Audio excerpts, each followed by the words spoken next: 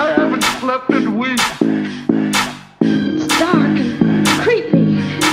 up and fight.